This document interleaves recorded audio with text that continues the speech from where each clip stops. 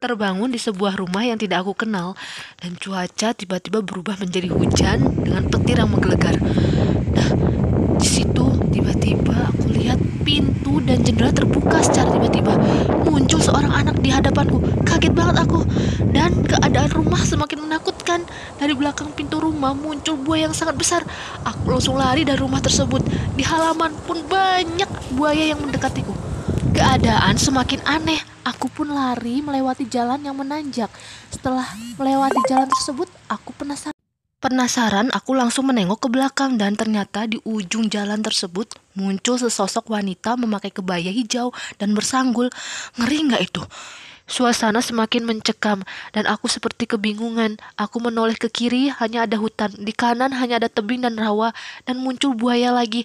Aku merasa ini mimpi atau kenyataan.